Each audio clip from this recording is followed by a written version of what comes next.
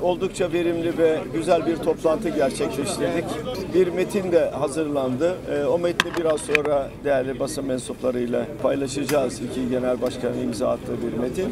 Ee, Türkiye'nin geleceği açısından, Türkiye'nin huzurlu bir ülke olması açısından, Türkiye'nin güçlendirilmiş parlamenter sisteme kavuşup e, daha sağlıklı bir yol yürümesi açısından her bir genel başkana, her bir siyasal partiye sorumluluklar düşüyor. Bizler de bu sorumluluğun bilincinde olarak e, bir araya geldik, oturduk, konuştuk, kurvaylarımız geldi bir araya, oturduk yine konuştuk.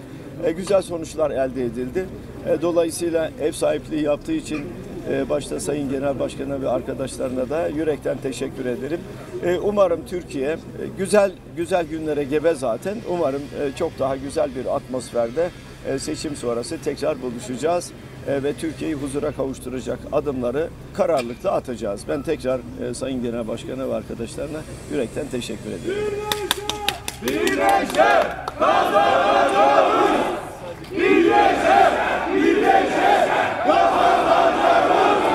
E, slogan da fena değil. Birleşe birleşe kazanacağız. Evet. Evet. Evet. Evet. evet. Değerli basın mensupları, Sayın Genel Başkan'a teşekkür ediyorum. Türkiye'nin en önemli sorunu hiç şüphesiz ülkemizde yaşayan 13 milyon sığınmacı ve kaçağın vatanlarına geri yollanmasıdır. Bu 13 milyon vatanlarına geri yollanmadan ve yenilerinin gelmesi kararlı politikalarla engellenmeden Türkiye'nin ekonomik sorunlarını aşması mümkün değildir. Yılda 11 milyar dolar sığınmacılara harcayarak Türk halkını fakirlikten kurtaramayız. Kiraların yükselmesini engelleyemeyiz. Vatandaşlık satarak Türk halkının gayrimenkul alabilmesini rahatlıkla sağlayamayız. Sokaklarda güvenliği sağlayamayız.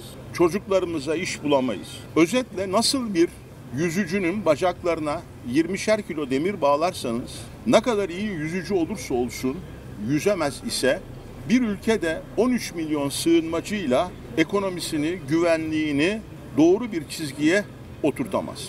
Bundan dolayı 14 Mayıs seçimlerine giderken Türk halkından biz Zafer Partisi olarak sığınmacıları vatanlarına geri yollamak için destek istedik. Ancak partimizin yeni kurulmuş olması, medyada uygulanan ambargo yeterince erişmemizi vatandaşa engelledi.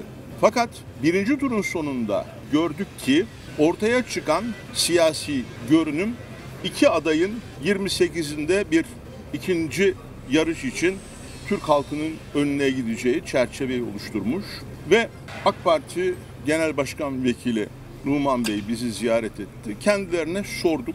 Dedi ki bizden destek istediler. Sığınmacılar konusunda ne yapmayı düşünüyorsunuz? Anlattıkları şey sığınmacıların vatanlarına dönmesini içermiyordu. Kemal Bey ile görüştük. Kemal Bey çok net bir şekilde sığınmacıların vatanlarına dönmesi gerektiğini ve bu politikayı izleyeceğini söyledi. Bu politikanın detaylarını konuştuk ve Zafer Partisi'nin önermiş olduğu bir sene içerisinde uluslararası hukuka uygun, insan haklarını gözeten, dönen Suriyelilerin Suriye'de güvenliğini sağlayacak ama Türk ekonomisinin üzerindeki büyük yükü de kaldıracak.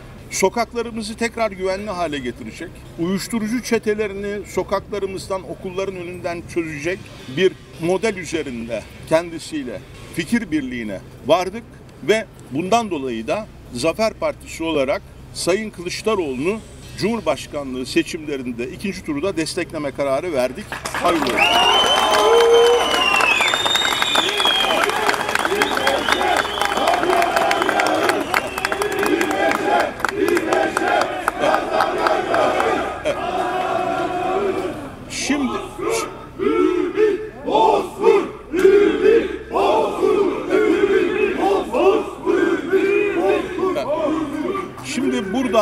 Birinci turda Cumhur İttifakı'na oy vermiş, Millet İttifakı'na oy vermiş ve Ata İttifakı'na oy vermiş değerli seçmene, bütün seçmenlere çağrım.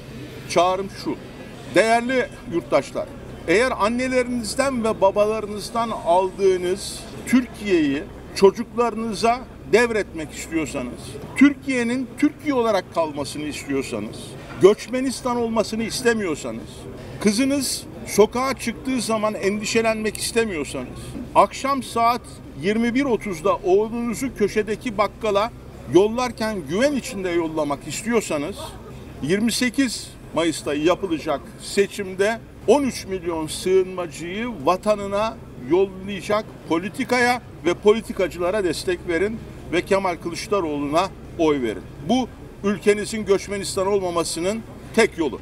Hepinize teşekkür ediyorum. Sağ olun.